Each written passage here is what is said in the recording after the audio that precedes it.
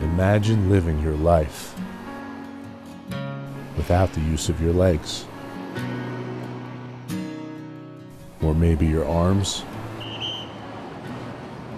Or maybe even your voice. How would you feel? You would like to pick a paintbrush? Now imagine you were given the chance exactly how you want it to look? to express everything you had inside.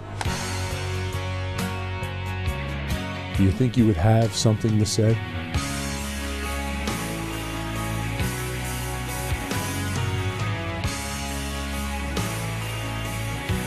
Five. Wow.